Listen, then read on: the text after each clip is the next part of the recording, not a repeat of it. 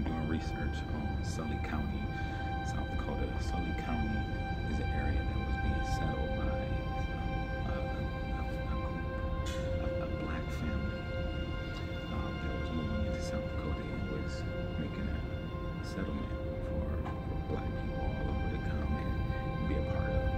And some of the some of the, the literature and books that I've been coming across to just kind of do some research on. Um, Crystal Fleming wrote uh, How to Be Less Stupid About Race.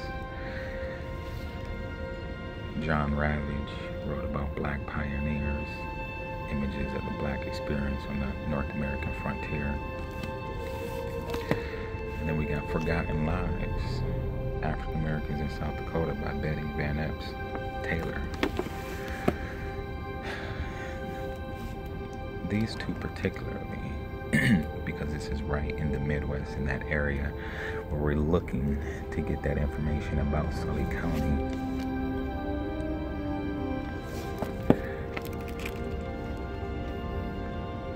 Has some fascinating information, fascinating history in here.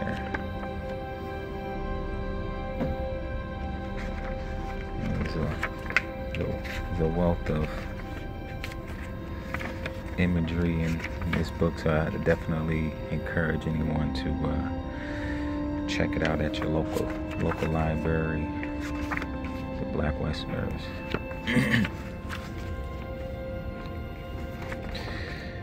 we out here.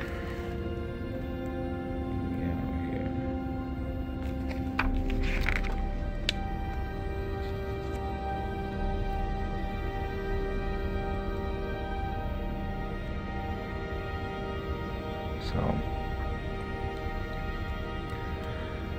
make sure you check that out when you get a chance. And then Forgotten. This this is the one here. So this don't have a lot of the imagery as the Black Pioneer book does, but it has a lot of South Dakota history. Cowboys and ranchers. Look at that. You got the members of the Grand Lodge and Prince Hall Masons, 1956 in Sioux Falls, South Dakota State Historical Society, um, which I just uploaded a video about that visit there not long ago. And up here you got a Ku Klux Klan in the 1920s out in Rapid City.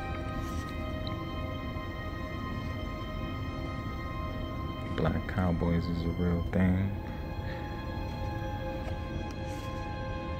Cleveland Abbott.